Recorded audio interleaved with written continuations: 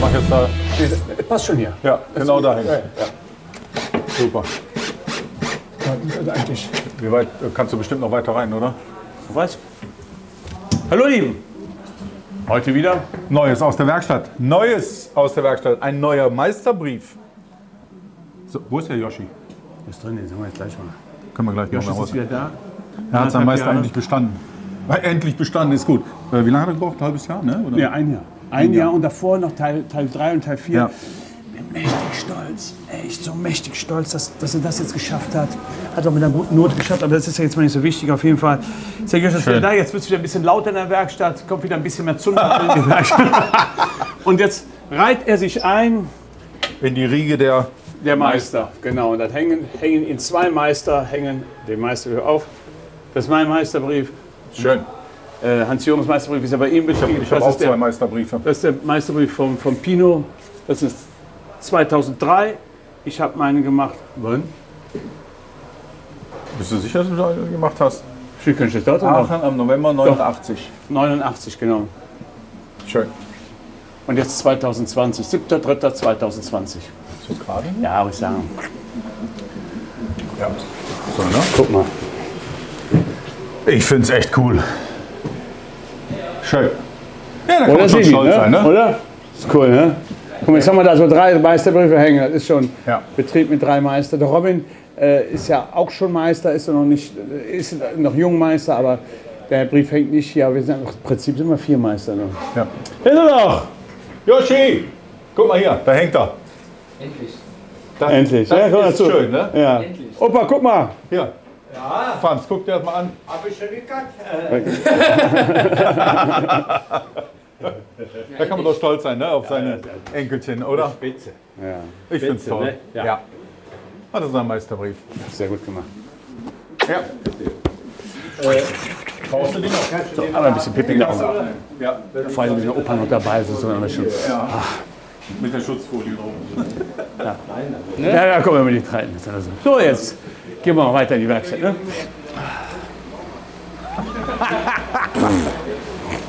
ah, leck mich am Arsch, ey. Martin, Oh, soll ich mal heute wieder fahren? ist mich erwischt. Ach. ah, voll der Pulle, ey. Ja, weißt du, der Papa dabei. Ja, na klar. Dann, Oh, ah, das ist schon so ein Familienbetrieb, da bin ich schon. Mit drei Generationen. Äh, äh, echt cool. Ja, und, und selbst wir haben ja auch Gefühle, ne?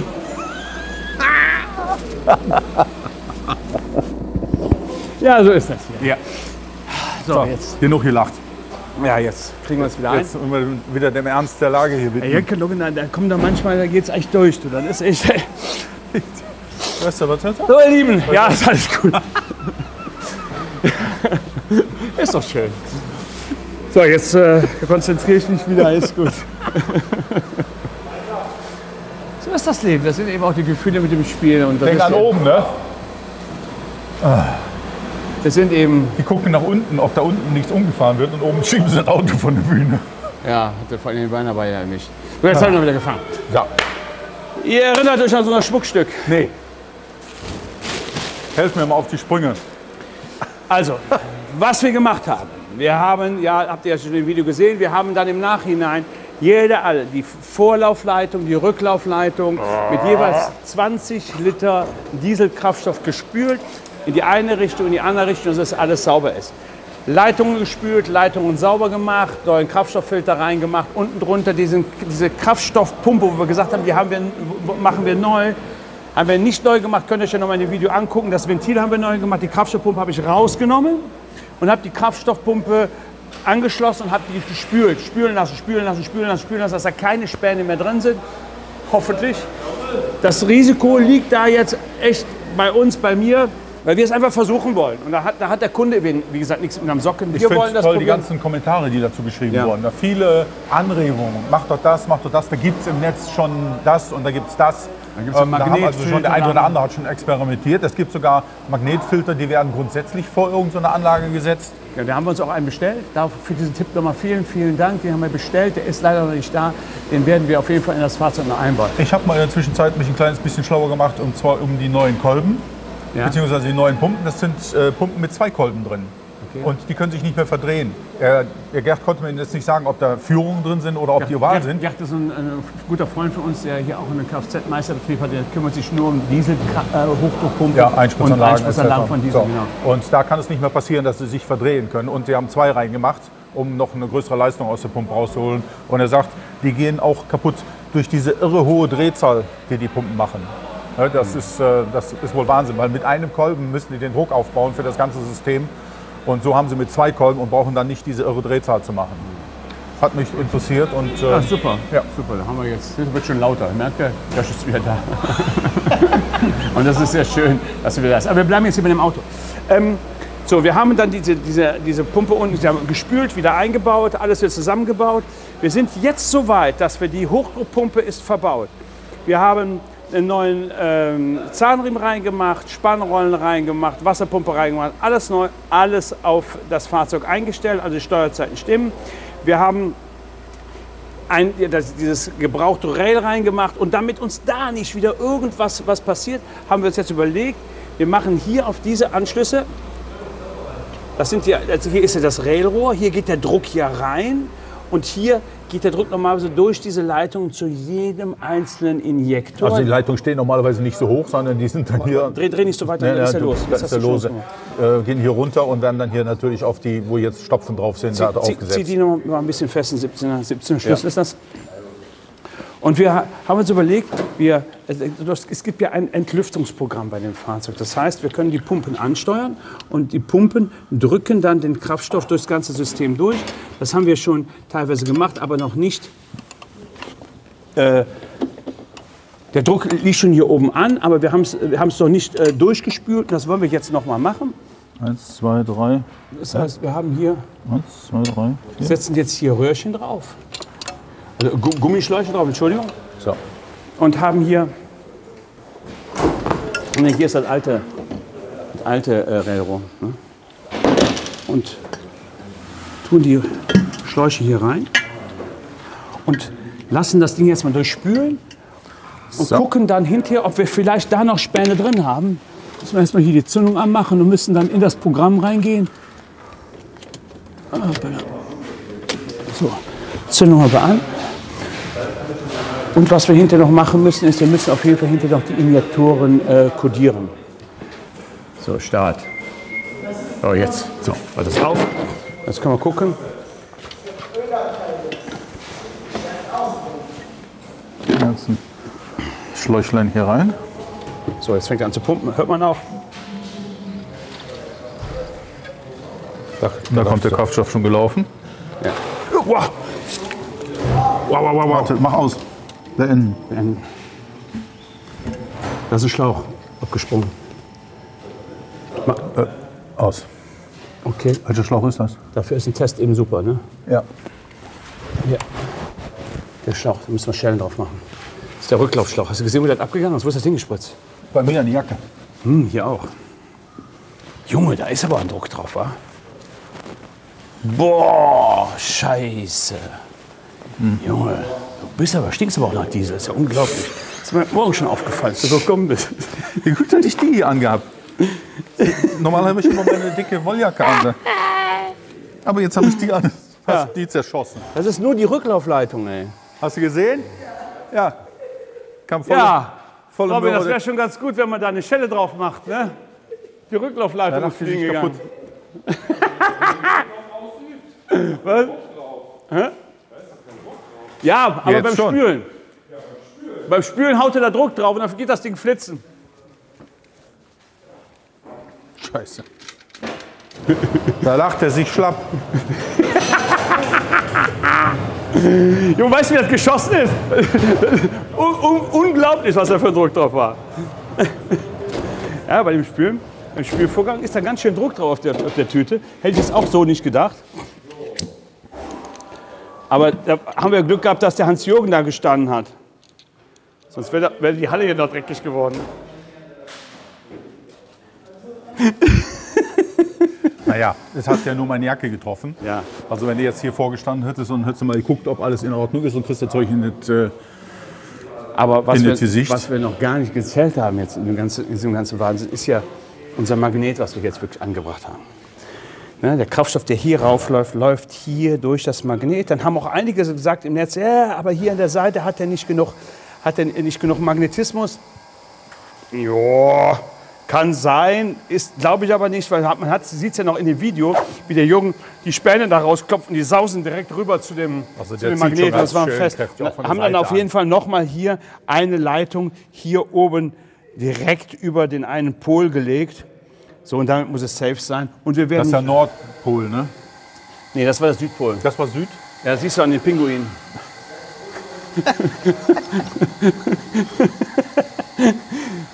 Ja. Ähm, hier in diese Leitung werden wir dann hier, genau in diese Leitung, der Kraftstoff läuft ja hier durch und geht hier rüber. In diese Leitung werden wir auf jeden Fall auch noch einen Magnetfilter reinmachen, weil uns das Ding einfach auch ein bisschen zu heiß ist. So, und hier hatten wir jetzt echt auch richtig, richtig, richtig Druck drauf. Das ist das doch noch gar nicht. Die sind noch gar nicht gelaufen. ja. Warum war denn da so viel Druck drauf? Ist das normal oder? Das weiß ich nicht. Ich hab, also bei diesen Schläuchen habe ich eigentlich so noch keine Schellen drauf gesehen, aber gut, wir lernen hier nie aus, ne? Ja, da gehört, gehört normalerweise auch so, so, so ein kleiner Formschlauch drauf. Ne? Ja. Aber haben wir jetzt hier diesen Schlauch genommen. Das ist, äh, müsste auch eigentlich so gut funktionieren. Das ist schon mal kein Problem.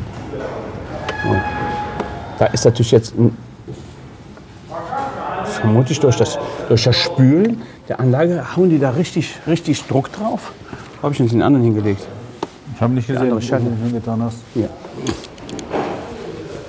Naja, das war ja jetzt mal, War doch schon mal, war doch schon mal gut. ja, ist ja auch, auch schon mal ein Erlebnis. Ne?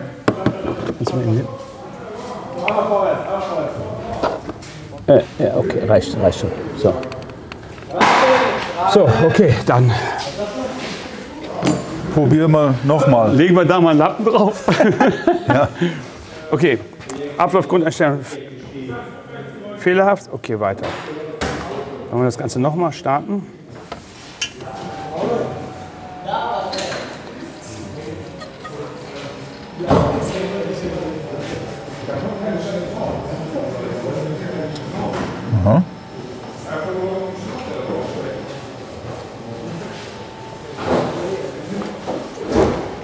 Es spült.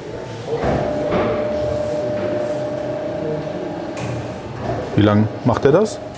Grund, Grundeinstellung wird durchgeführt. Also der Bitte warten. entlüftet jetzt das ganze System. Aber worum es uns ja eigentlich geht, ist, ähm, dass wir da jetzt den Kraftstoff rauskriegen und dann nachher mal schauen, bis das, äh, äh, wenn, wir, wenn wir das mal eine halbe Stunde stehen gelassen haben. Ob man da noch Späne drin sieht, ne? Genau. Eine Ewigkeit später.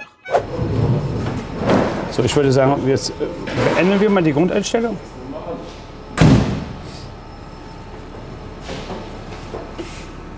Jetzt haben wir abgeschnitten. Ablauf ist abgebrochen. Okay. Läuft auf drei Zylindern. Okay. Und jetzt schließen wir die, ähm, machen wir die Leitungen raus. Pass auf, ich tue die hier tiefer. Ja, genau. Tiefer und dann kann man die schön leer laufen lassen. Ich halte die fest. Und ähm, schließen die Leitungen an und kodieren dann Die Einspritzdösen, die, die Injektoren. Injektoren. so. Komm mit.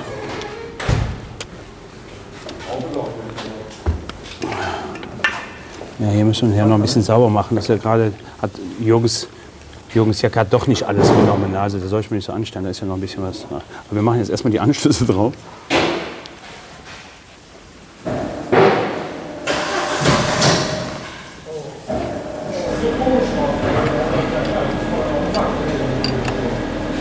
Sag mal, warum habt ihr den Wagen dann reingeschoben? Wenn die Zündreihenfolge nicht stimmt. Was ist denn damit? Dort Spule und Kabel getauscht. Ja. Er sagt, Robin sagt mir, ich starte mal und manchmal brauchst du nicht starten. Guck mal, Wer hat denn das getauscht? irgendeine andere Firma oder so, keine Ahnung. Da stehen auf den Zündkabeln noch die Nummern drauf. Die sind trotzdem falsch gestellt. Warte mal, das ist eine andere Firma? Ja, die Zündkabel. jetzt hier eingeschleppt worden. Weil- Ich habe den draußen gestartet gerade. Ja. Und das hat sich so brutal angehört. Dann habe ich gedacht, okay, vielleicht ist irgendwas riemtechnisch, schieben wir lieber rein. Wir gucken mal, ob wir überhaupt noch Oh, drauf. was war vertauscht? Und die zwei hier, ne? Eins, Die zwei. stehen noch mit, mit Nummern Ja, drauf. aber stopp mal, ist doch ganz klar. Eins, äh, eins und vier und zwei und drei, das ist doch ganz, ganz Ja, klar. deswegen hat er, ja, und dann Nummer. Ja, wie? Und der ADAC hat das jetzt hier reingeschleppt, weil das Auto nicht mehr läuft. Genau. Ja. Ist noch nicht mal angesprungen. Er lief ja nicht. Hat total zurückgeschlagen. Ja, habe ich ja gerade gehört. Und die haben. Jetzt hör auf. Das ist eine versteckte Kamera. Nein. Der steht seit Er hat äh, irgendeiner Montag die, hier. die Spulen und Kerzen neu gemacht, weil das ja wahrscheinlich der Fehler gewesen ist. Und dann haben sie da einen Falsch eingebaut. Steht sogar noch drauf. Ich lese das nochmal aus, aber Ja, ist das, ist das wahr? Oder ist es nur unsere Fantasie? Ja. Also nochmal, da ist eine, eine andere Werkstatt, kriegt das Ding nicht. Äh, äh, macht da auch was dran. Haben die Zündspulen und die Kabel erneuert und die Kerzen. Und dann läuft das Auto nicht mehr und dann bringt der ADAC den Wagen aus der Werkstatt hier hin und ihr schiebt den jetzt rein und, und steckt die Kabel noch richtig. Ja. Ey, ruft da mal an und sprecht mit dem Kunden. Das kann ja gar nicht sein. Also, äh, Wir machen jetzt mal eine Probefahrt. Lesen danach nochmal aus. Guck mal die Kundennummer an. Ne? Ruf den Kunden mal an und frag mal, wie das passiert ist und sag mir gleich noch Bescheid, weil das können wir äh, unseren Zuschauern dann auch noch mal erklären, weil äh, das ist ja, da denke ich immer an versteckte Kamera. Ey, unglaublich, oder? Ja. So gibt's ja gar nicht. Dann ist Ja. er. Manchmal gibt es Sachen. Mach, mach mal, eben los. Dann, äh, da ist. Da ja. denkst du, irgendeiner will dich doch verarschen, oder?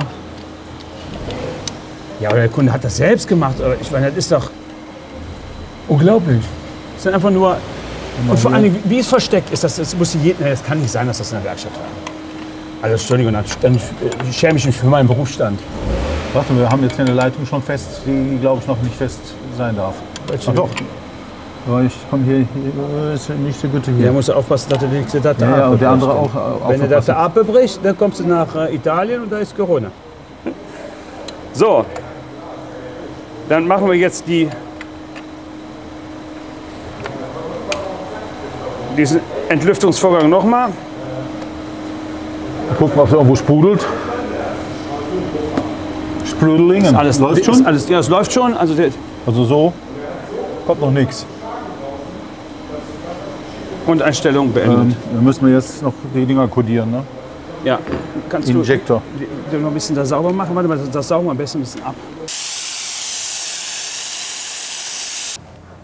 Wenn Injektoren ersetzt wurden, dann müssen sie anschließend der entsprechenden Injektorenkodierung im Steuergerät neu kodiert werden. Mit den Injektorencodes. Die Markierung befindet sich auf dem Injektorkopf. Weiter. Weiter, guck mal auf den Injektorkopf, aber so wie ich den Robin kenne, hat er die aufgeschrieben. Injektorkopf. Hier siehst du aber nichts. Alles gut. Robin, hast du mal eben die Kodierungen von den, äh, von den Einspritzdüsen? Ach, da kann man sie sehen, ja. 8 PZ, ZX51 Heinrich. Ich habe die hier. 4 Emil Konrad. 4 Emil Kaufmann, meinst du, ne? Kaufmann. Genau. Kaufmann. So, jetzt haben wir die kodiert. Haben wir jetzt für jeden einzelnen komm mal her, Patrick, schau mal bitte. Für jeden einzelnen Zylinder haben wir die Kodierung eingegeben. Das Injektor 1, Injektor 2, Injektor 3, Injektor 4. Also für jeden einzelnen Zylinder, ich meine ich natürlich für jeden einzelnen Injektor haben wir die eingegeben. Mit diesen Werten die spielen wir jetzt in das Steuergerät rein, indem wir auf Weiter drücken. Steuergerät kodieren, guck hier. Kodieren. Da sagen wir ja. Und aus diesen Zahlen, das sind hinter dem Steuergerät Kombina- Kombination von Buchstaben und Zahlen nicht bekannt, zum Menü zurückkehren. Okay? Hm. Ja, okay. Blöd, Mann. Was kennt er nicht? Der, der will das groß, groß und klein geschrieben haben. So, und damit, mit diesen Kodierungen, die sind in dem Steuergerät hinterlegt, dann kann sich das Steuergerät, weiß dann genau, wie der Injektor gefertigt ist, was der für äh, Maße hat und kann Es geht um die Abweichungen der einzelnen Injektoren, ne? Rücklaufmenge etc., was der einzelne Injektor wieder an Kraftstoff zurücklaufen lässt, damit das Steuergerät weiß, wie die einzelnen Injektoren dem Motor zugemessen werden, um die richtige Kraftstoffmenge zu dem richtigen Zeitpunkt einzuspritzen. Genau, und das liest er äh, mit dieser Kodierung, weiß er ganz genau, wie viel Maß das, diese, diese Die Abweichungen, die die Abweichung, jede ja, was, was, hat. ja, was das Ding für ein Maß hat, ne, Ja. wie das genau ein, äh, einspritzt. Sind sie nicht alle gleich? Nein, die sind nicht alle gleich. In der Fertigung sind die nicht alle gleich. Das ist ja im Prinzip in Anführungsstrichen Handarbeit. Und da gibt es immer einen Streuung. Unterschied. Eine Streuung gibt es da und diese Streuung muss das Steuergerät haben, um optimal einzuspritzen. Der würde, ja, ich weiß nicht, aber so auch anspritzen. Ja, er würde schon anspringen, aber wird eben nicht gut laufen. So, dann weiter. Jetzt schauen wir, ob es jetzt nimmt. Ja, überschreiben. Steuergerät kodieren. Ja, überschreiben steht hier. Dann nehmen wir auf Ja, überschreiben. So, und jetzt schauen wir, ob es nimmt. Steuergerät kodieren durchgeführt. Aha. Weiter. Jetzt weiß das Steuergerät genau, welche Injektoren pro Zylinder da drin steckt und kann was damit anfangen. So, jetzt muss ich ganz ehrlich sagen, jetzt äh, bin ich so ein bisschen. Pause. Ja, Ach, schön. jetzt wir- jetzt bin ich schon ein bisschen nervös. Ähm, warum nur ein bisschen? Weil das Risiko liegt nämlich jetzt Bei mir. auf deiner ja, Seite. Aber auch so überhaupt, ich meine, wir haben jetzt so viel neu gemacht, Steuerzeiten und, und, und, und, und, und, und. Ob der jetzt direkt beim ersten Mal anspringt, werden wir jetzt sehen. Hat noch Luft drin.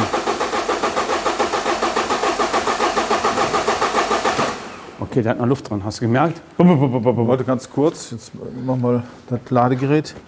Grundeinstellung. Ladegerät Wir steht. müssen das nochmal entlüften, weil wir ja vorhin ähm, die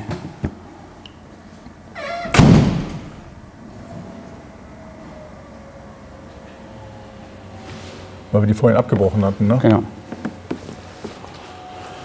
Das ist vorher abgebrochen und dann haben wir ja die Leitungen erst, äh, erst neu gemacht. Jetzt, äh, also es hat sich vorhin zumindest so angehört, als wenn er kurz anspringen wollte. Jetzt lassen wir es nochmal laufen. Er spült jetzt nochmal alles durch. Also wenn das klappt, dann hat er eine Menge Geld gespart. Wenn das nicht klappt, dann musst du eine Menge Geld sparen. Ich habe beides mal Schön, das Wort ja. sparen benutzt. Ne? Ja, das ist schön. Problem Blöd ist nur, dass das dann auf meine, auf meine Ja. Tasche geht. Ne?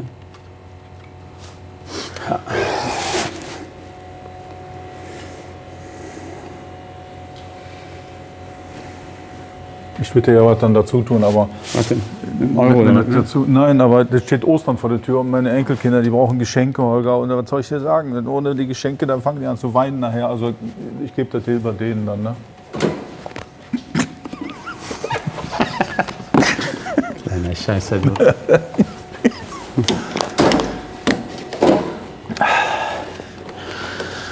Ich bereite schon mal was vor.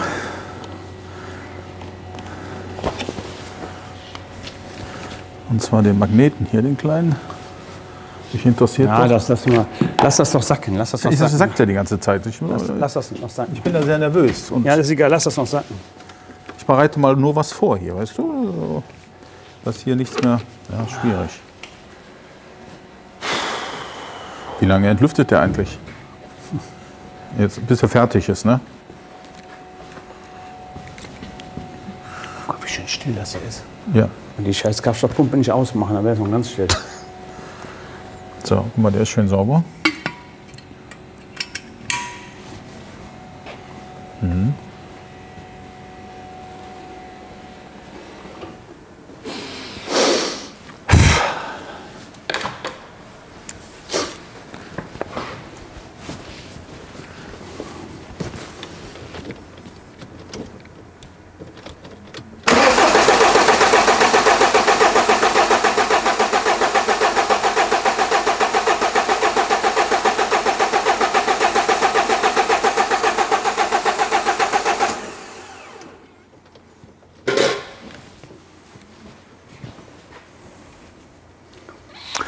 War eigentlich was im Fehlerspeicher? Wenn im Fehlerspeicher defekte Injektoren oder was drin waren, dann.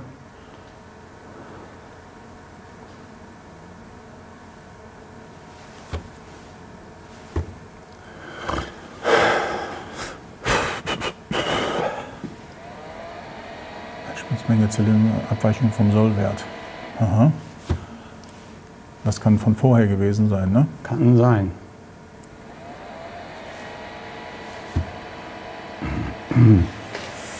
Probier, probier mal nochmal.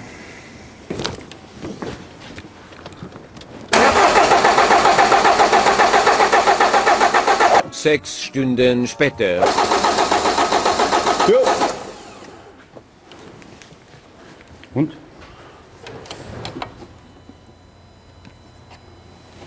Ist eine Leitung los? Hast du nicht alle Leitungen festgeschraubt? Mach mal, ich hab so eben hab's dir doch alle angezogen. Okay, dann schauen wir jetzt nochmal. Ne?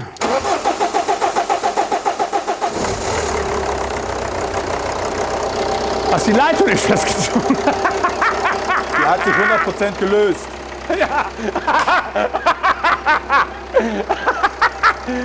er hatte die Leitung nicht festgezogen. Ah, Ah, das war die Leitung, an der du dran warst. ja, der ist da. Die hatte ich nicht nachgezogen, ja. Ah, stopp, da, da, da tropft noch was raus. Okay, Ah, Hier ist Druck drauf ohne Ende, ne, auf dem Anschluss. ja, ja, hier vorne, hier vorne tropft da was raus. Das machen wir jetzt noch, machen wir noch dicht, da müssen wir gucken. Ja, aber auf jeden Fall, Er läuft. Mann, wir, äh, wir hatten den Raildruck jetzt gemessen ne? und der Raildruck, der war nur bei, bei, bei 60 Bar. Und dann, klar, dann kann er nicht anspringen, weil der, Logisch, wenn du da die eine Leitung nicht richtig festgemacht hast, dann ist das klar. Heute ist der Tag der Finger. so, und hier haben wir den, den Opel. Opel. Den haben wir ja schon mal hier gehabt. Das ist der, ja, das ist der, das ist der Opel Signum. Da haben wir die ähm, Ansaugbrücke. Ansaugbrücke Neu gemacht. demontiert. Das Es tropft, es tropft auf, auf den Tester. auf den Tester. Ah. Fahrzeugsuche. Können Sie mal Fahrzeugsuche eingeben, Herr Vorwort? Ich brauche nicht suchen, ich Das habe ist das da, wo wir gefunden. für 500 Euro diese neuen Klappen da reingemacht haben, so schweineteuer. War das, das ist gar nicht so lange her. Hier, komm, machen wir das eben neu. Was kostet denn so ein Reparatursatz? Warte, ich rechne mal ganz kurz aus. Wow! 500 Euro. Vor kurzem haben wir das Video erst gezeigt, glaube ich. Und ähm, ist jetzt wieder hier, die Motorkontrolllampe ist an. Kann man innen drin auch sehen. Die Motor Engine Lamp. Ich, hab, ich mag Opel besonders gerne, weil die irgendwo, irgendwo, irgendwo, ach da, am Aschenbecher. Ich liebe sie. Das ist nicht Horror. Im Aschenbecher, unterm Aschenbecher haben die den OBD-Stecker. Ja, auf jeden Fall Motorcontroller ist an. Und jetzt sieht es erstmal so aus. Der Kunde sagt, komischerweise als, als neu gemacht ist die Lampe plötzlich wieder an. Opel Vauxhall Signum 2,2 Liter, 16 Volt. Verbrennungsaussetzer, okay. Eins von Verbrennungszylinder 1 oder 8. Das ist ewig dasselbe Kram bei den Genau. Autos. Also hat auf jeden Fall nichts mit der Reklamation zu, zu tun. Langsam ja. sprechen. Also nichts mit den Klappensteuern zu tun. Das ist Verbrennungsaussetzer. Das ist Zündspule. Aber schon aufgezeigt. Ja, ja, Ja, das, das ist immer derselbe Kram hier bei dem Auto, dass die Zündspulen hier die Flügel strecken. Hier, der hat die Zündspule als eine komplette Einheit hier drin, diese große Brücke. Da gehen die ganzen vier ähm, Zapfen nach unten weg. Und Nummernschild ist runtergefallen, weil ich gesagt habe, auf Feuchtigkeit klebt es nicht. Aber der hört ja nicht auf mich, der Patrick. So. So, das haben wir auf Lager. Ja. Das hast du doch gesagt äh, gerade, ne? Ja. Das haben wir auf Lager. Da brauchen wir nicht nochmal zu zeigen, das haben wir schon so oft gezeigt. Den Fehler bei dem Wagen. Und wenn man noch sieht, 1, also Zylinder 3 Und Zylinder 1. und Zylinder 1, sind auf beiden, auf beiden Seiten von den Spulen ist da was drauf. Der Hammer. Ja, auf jeden Fall ist das äh, Neue Spule rein, Auto läuft. neue Spule rein und definitiv läuft das Auto dann. Ja. Krankheit bei den Wagen, also äh, Wahnsinn. So, was gibt es Neues hier von den VW? Wir haben ja vorhin gedacht, das wäre eine andere Werkstatt gewesen. Der Wagen hat ein Problem gehabt und äh, ruckelte und bockte und dann hat äh, der, der kam der AC vorbei und hat gesagt, na, da wird wohl sehr wahrscheinlich ein Problem mit den Zündspulen sein, ne, wie wir bei dem anderen Wagen da drüben ja auch gerade hatten. Äh, das passiert schon öfters mal, hat er den Funken langgezogen und hat die Und Stecker... hat die Stecker rausgezogen und geguckt, ob da unten Funke ist. Genau. Und hat, und hat, da, hat geguckt und hat dabei wohl die Dinger vertauscht. So. Ne? so und dann hat der Kunde hat dann äh, sich neue äh, Zündspulen und neue Kabel geholt und hat sich auch schon gewundert, weil hier 1 und 2 draufsteht. Aber er hat das genauso gemacht wie der ADC vorher. Also normalerweise ist zwei auf dem zweiten Zylinder. Aber er geht hier auf den ersten. Und dann macht der Motor was ganz komisches. Ja, okay, kann man mal hören, was, was, der- was der Motor komisches macht, wenn das dann so ist. So ist der Wagen eben hier hingekommen. Pom, pom, pom. So, er lief dann eben gar nicht mehr. Dann hat er den ADAC wieder gerufen. pom, pom. Also so, so, so richtig nett. Hat dann den ADAC wieder gerufen und hat gesagt, ja, jetzt läuft der Wagen gar nicht mehr. Dann hat der ADAC sich das angeguckt und hat gesagt, äh, findet aber auch nichts und hat den Wagen jetzt in die Werkstatt geschleppt. Also es war keine andere Werkstatt. Da hat der, ja, der vielleicht hat der Kunde es auch vertauscht, aber das ist egal. Auf jeden Fall sind die Kabel vertauscht und der zweite ADAC hat es dann nicht gesehen. Jetzt haben wir die Kabel eben, wie gesagt, neu drauf gemacht, richtig drauf gemacht und dann läuft das Auto. Und die Jungs, das Geile ist, dass die Jungs sind gerade zu vier oder fünf Mann, als wir drüben an den Warenmann reingeschoben haben. Komisch, wie jetzt läuft. Aber So, vielleicht kann man hier noch was zu sagen, Holger. Ja, du kannst immer was sagen. Ich kann immer was sagen. Und zwar Ja.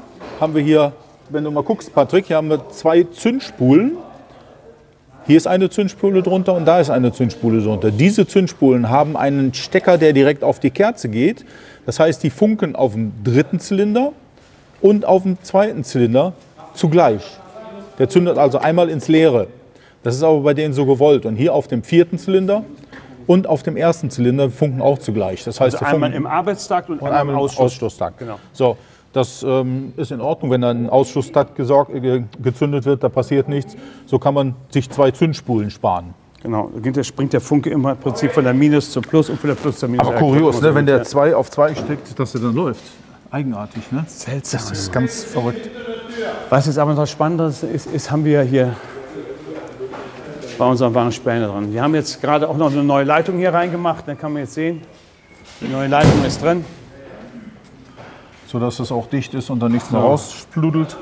So, wir schauen jetzt hier mal. So, guck mal, ich habe es extrem sauber gemacht hier. Guck mal hier. Extrem sauber. Ich scheiße mal extrem ins Höschen, wenn jetzt da noch Metall drin ist.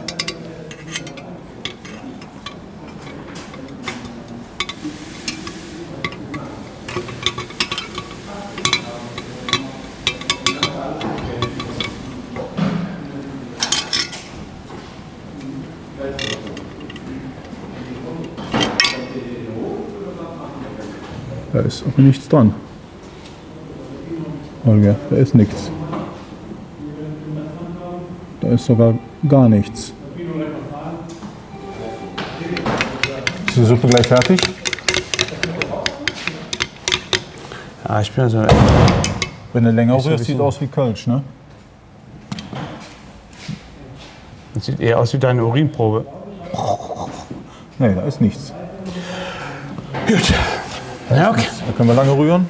Das ist schön, dass da nichts ist. Gut, also wir werden, was wir noch machen werden, wir werden hier in diese Leitung noch, noch Magnetfilter reingemacht, von den Tipps, die ihr uns gegeben habt und so, macht doch Magnetfilter, da habe ich, dann- hab ich dann gesucht, habe auch noch einen anderen gefunden, wir haben auch noch einen, einen Vorschlag per E-Mail bekommen, wir machen dann noch einen Magnetfilter rein, wir werden den hier spätestens in, na, nach der zweiten Tankfüllung werden wir hier den Schlauch rausnehmen. Da seid ihr natürlich voll live dabei, um zu gucken, haben wir da Späne gesammelt oder haben wir keine Späne gesammelt. Äh, wenn wir keine Späne sammeln, dann Dann ist umso besser. ist der Wagen schon vor wieder hier. so. Wenn wir keine Späne gesammelt haben, dann, dann ist er, glaube ich. Äh, Also ich denke, dass das gut geht. Ich glaube daran. Wir werden sehen, es Ja. ist unser Versuch. Hohes, hohes, Ja. hohes Level, 7.500 Euro, weil dann geht der Tank auf unsere Kappe und so. Aber das ist unser Ding. Macht's gut. Bis zum nächsten Daumen Mal. hoch, wenn es Daumen euch rauf. gefallen hat. Und Daumen Wagen- hoch, wenn es euch nicht gefallen hat. In jedem Fall Der Wagen wird uns weiter begleiten. begleiten. Gute Zeit. Macht's Bis gut. dann, ihr Lieben. Tschüss.